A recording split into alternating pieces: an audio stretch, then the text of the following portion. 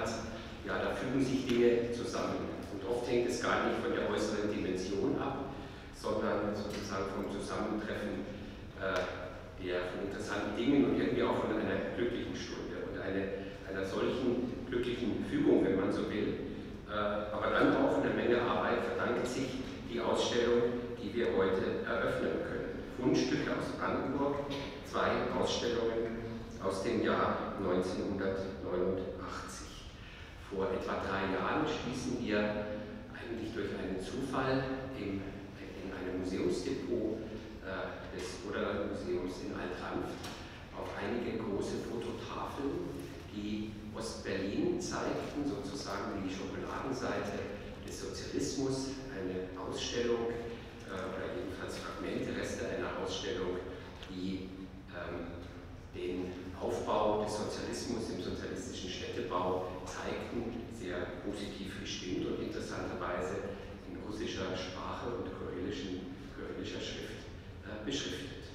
Und dann fängt natürlich die Neugier an und von da ab entwickelte sich eine Detektivgeschichte. Unser Detektiv war Thomas Wernicke, der hier auch der Kurator der Ausstellung ist und dem es gelungen ist, die Hintergründe äh, dieser Ausstellung ausfindig zu machen. Und die Spur führte tatsächlich nach Moskau und sie führte zur letzten großen, wenn man so sagen will, Propagandaschau, zur letzten großen öffentlichen Darstellung der DDR im Sommer 89. Und eine zweite Fügung, eine zweite, ein zweites Geschenk, will ich sagen, an uns war eine, die Initiative, dass äh, Michael Zeilers und Michael Heinroth auf uns zugekommen sind und uns Material zeigten, eine Ausstellung, die auch vor 30 Jahren im Sommer 89 hier in Potsdam gezeigt wurde, unweit von hier in der Nikolaikirche, eine Ausstellung, die von Bürgerrechtlern gemacht worden ist, von einer kleinen Gruppe engagierter Menschen, die sich damals öffentlich gestemmt haben gegen den Untergang des barocken Potsdams und die die Öffentlichkeit darauf aufmerksam gemacht haben, dass hier ein Verlust an Kulturgut äh, droht, äh, die mit ihren Mitteln das sehr erfolgreich nicht nur versucht, sondern es tatsächlich umgesetzt haben, sozusagen ein großes Fragezeichen, einen großen Widerhaken sozusagen zu setzen. Niemand konnte wissen, dass ein Monat nach dem Ende dieser Ausstellung die Mauer fallen würde und sozusagen diese Ausstellung für uns heute ein Zeugnis ist, Umbruchsituation im Sommer und im Herbst 89. Ausstellung auf eine sehr interessante Weise zu präsentieren, nämlich die große Schau des sozialistischen Berlin sozusagen nach innen in die Kabinen zu nehmen und die Bürgerrechtsinitiative in Potsdam sozusagen nach außen zu blenden. Sie werden das gleich sehen, zusammen mit den Materialien, ähm, wie rund um diese beiden Projekte ähm, Ich möchte mich ganz herzlich bedanken bei Michael Heinroth, Michael Zarions, Steffen Mühle, Wolfgang Frederik, Uta Scholz, bei allen, die uns mit dieses Material, uns und Ihnen dieses Material zur Verfügung gestellt haben, bei Thomas Wernicke, unserem französischen Praktikanten Pierre Maillère, bei Guido Schmidt, der die Medien eingerichtet hat, bei den Gestaltern. Ich bin mir sicher, dass die Ausstellung auch die Aufmerksamkeit erfahren wird, die ihr, wie ich finde, äh, gebührt freue mich sehr, dass äh, ich Ihnen zunächst mal Frau Dr. Mönch und dann Herrn Oberbürgermeister Schubert, dass Sie hier sind, dass wir uns Ihre geben und ich darf Sie um Ihr Großwort bitten und im Anschluss daran wird Thomas Wernicke Sie ein bisschen... Heute sehr groß und aus meiner Sicht heute sogar noch größer als vor einigen Jahren. Deswegen kommt diese Ausstellung auch genau zum richtigen Zeitpunkt. Die jüngere Generation hingegen kennt das Jahr 1989 oft nur aus Erzählungen in der Familie, aus dem Schulunterricht oder aus den Medien. Und ein Teil der Jugend weiß nur noch sehr wenig über die DDR-Geschichte, über das Leben in dieser Zeit, die friedliche Revolution und die Wende. Und für sie gilt es auch, neue Zugänge zur Geschichte zu eröffnen. Und auch das ist eine große Aufgabe von Ausstellungen, die äh, Jugendgeschichte zu vermitteln. Und für beides, den Austausch mit den Zeitzeugen, genauso wie für das Ansprechen jüngerer Menschen, bietet dieses Ausstellungsprojekt ganz hervorragende Gelegenheiten. Die außergewöhnliche Konzeption macht die damalige Zeit aus verschiedenen Perspektiven erfahrbar. Zwei ungewöhnliche Fundstücke sind es, die hier im HBPG zu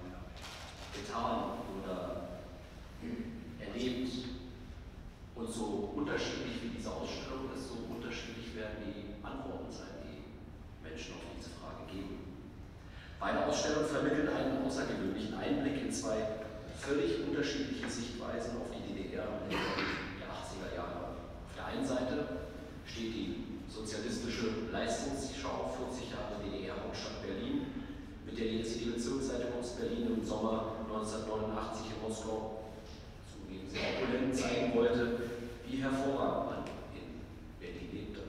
Auf der anderen Seite steht die Ausstellung Suche der Stadt Beste. baulichen Zerfall der zweiten Barockstadtverwaltung Potsdams zeigen. Zwei Seiten der eine Realitätsmedaille der DDR, die nun, 30 Jahre später, in einem spannungsreichen Gegenüberstellen zusammengeführt werden und spielen Anspruch und Wirklichkeit miteinander. Heute wirkt das, was wir auf den noch erhaltenen Schautafeln der sozialistischen, ja wie will man sie nennen, Protzausstellung ist vielleicht der falsche Begriff,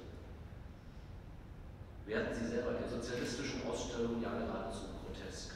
Schließlich wissen wir, dass der SED-Staat im Sommer 1989 bereits auf sein Ende zusteuert und dass von Moskau eben keine Schützenhilfe für den in dieser Zeit mit hinzugreifenden Umsturz in ganz Osteuropa zu erwarten war. Aber das ist eben unsere Sicht, wenn wir uns heute sozusagen in der Retrospektive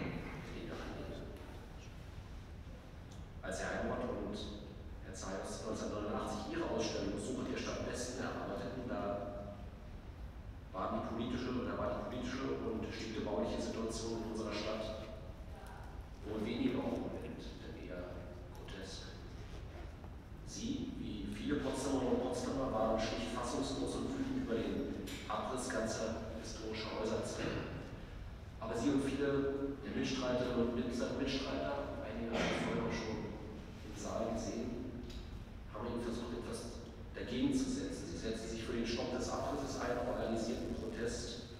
Erinnern möchte ich an die Bemühungen zur Rettung der Dortmundstraße 68, in dem einst der Storm lebte. Am 1. August 1989 brachten Carola Schaber war eine Informationstafel in den Schaukasten des Kulturbündnisses an mit der Frage, ist das Stormschaus gestaunt? Ein Plakat mit einer Gedenktafel mit der Inschrift Hier wohnte 1854 bis 56 Theodor Storm wurde am Haus angebracht. Heute wissen wir, es nützte nichts. Der Abriss war längst besiegelt, aber die Wut derer, die sich damit auseinandersetzten, stieg weiter. Die Sorge um das städtebauliche Erbe Konstanz wurde schließlich zu einem der wichtigsten Motoren der bürgerschaftlichen Bewegung im Herbst 1989 erleben. Fall der Mauer zwischen den beiden deutschen Staaten, zumindest hier in Potsdam, forcierte und der einzige Kind auch hatte. Äh, nach sowjetischen Zeitungen, nach sowjetischen Pressemeldungen, nach sowjetischen Medien. Und da kam etwas ganz Interessantes heraus, dass man eigentlich gar nicht so fixiert war auf das, was dann nun in Ostberlin, die Hauptstadt, da gerade in Moskau machte. Es waren ja die Tage Berlins in Moskau, sondern man war auf zwei Dinge fixiert, auf den Volksdeputiertenkongress und auf etwas anderes, auf die Bundesrepublik Deutschland. Denn am 12. Juni flog Gorbatschow nach Bonn. Drei Tage und seit Ende 1988, seit seiner berühmten Rede vor der UNO, ist er ja im Ausland wie ein Messias empfangen worden. Und so geschah das natürlich auch in Bonn auf dem Rathausplatz, Gorbi, Gorbi, Gorbi. Und äh, so wird es im Herbst dann auch in Ostberlin sein. Aber die Diskrepanz war, und nur so versteht man diesen Erfolg dieser Berliner Ausstellung, in der Sowjetunion ging es eigentlich bergab. Die Wirtschaft war äh, in einer riesigen Krise. Äh, äh, eine Inflation bahnte sich an, ganz langsam stiegen die Gehälter, aber die Waren wurden immer weniger. Es gibt so ein paar Zahlen, die ich gefunden habe, von 900 Konsumgütern, wie man im DDR-Deutschen schon sagte, also Kühlschränke, Waschmaschinen, Möbel und so weiter, gab es noch 10 Prozent. Aber das war jetzt nicht das Schlimmste. Das Schlimmste war eigentlich die Achillesferse der sowjetischen Wirtschaft, die Landwirtschaft, die Menschen nicht ernähren zu können. Auch das wurde dramatisch. Also die Zeitzeugen, mit denen ich noch sprechen konnte, haben also wirklich berichtet, wie äh, es ist ja, Sie müssen sich vorstellen, alles, was in dieser Berliner Ausstellung gezeigt wurde, alles, was man in diesen Berliner Tagen äh, danach äh, in Moskau anbot, ist alles aus der DDR herangeschafft worden. 50.000 Bockwürste sind zum Beispiel verkauft worden in vier Tagen. Äh, all, all diese Dinge muss man sehen. Äh, und das ist, finde ich, auch noch einmal das Interessante, dass man nochmal so einen Blickwechsel hat. Warum aus der Moskauer Sicht? Und ich empfehle Ihnen einfach nachher doch mal in diese Lesestation zu schauen. Wir haben äh, Auszüge aus diesem Moskauer Besucherbuch, zeigen wir. Es sind Auszüge, die Schabowski, Schabowski war ja der Bezirkssekretär Berlin, der auch das alles veranstaltet hat, zusammen mit dem äh, Ostberliner Magistrat, äh, hat für Honecker nochmal, äh, ich glaube 12, 14 Seiten, Auszüge aus diesem Besucherbuch zusammengestellt. Die hat Honecker tatsächlich gelesen, er hat sie abgezeichnet und an alle Mitglieder und Kandidaten des Politbüros geschickt. Und mir sind, als ich das erste Mal diese Zettel gelesen habe, in den Akten sind diese Originalzettel, äh, Übersetzungszettel noch sind mir fast die Tränen gekommen, was diese Menschen da geschrieben haben. Auf der einen Seite die große russische Höflichkeit, gratuliert zu haben, der DDR. Auf der anderen Seite steht so etwas, so was Schönes haben wir noch nicht gesehen. Wir schämen uns ja so für unser Land und so weiter. Und das kann man eigentlich nur eben verstehen, wenn man weiß, wie sind diese Situationen in Moskau schon war, in Moskau wohlgemerkt, im Land war es ja noch anders, und äh, wie äh, da, trotzdem man natürlich wusste, dass es eine Propagandaschau war, wie da also nochmal diese Ostberlin-Schau.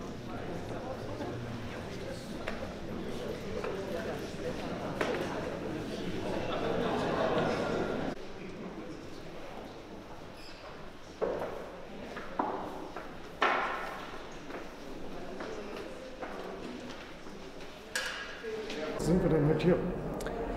Wir haben eine Ausstellung eröffnet miteinander. Also äh, gerade eben sind die Fundstücke eröffnet worden, eine der äh, für mich beeindruckendsten Ausstellungen und ein Auftakt in die ähm, vielen Ausstellungen, die wir mit Rückblick und mit Retrospektive aufs Jahr 1989 in den nächsten Monaten noch in Potsdam erleben werden. Und äh, was ist das Ziel der Ausstellung? Das Besondere an der Ausstellung ist, dass sie eigentlich eine dritte ist, die aus zwei anderen Ausstellungen zusammengeführt ist, nämlich eine Ausstellung, die 1989 zum 40-jährigen Bestehen der DDR in Moskau gezeigt wurde und die die Errungenschaften der DDR äh, am Beispiel von Ostberlin zeigen sollte. Und auf der anderen Seite eine sehr kleine, feine Ausstellung, äh, die hier in Potsdam entstanden ist und die deutlich macht, wie Potsdam im Jahr 1989 aussah, wie weit beispielsweise die barocke Stadterweiterung zu diesem Zeitpunkt zerstört war. Ich kann nur jedem empfehlen, der heute in der Stadt lebt und diese wunderschöne äh, Stadt an vielen Stellen in der Innenstadt bewundert und sagt, wie schön es hier ist, in die Ausstellung zu gehen und sich anzuschauen, wie es vor 30 Jahren aussehen, weil man dann sieht, wie sich die Stadt entwickelt hat.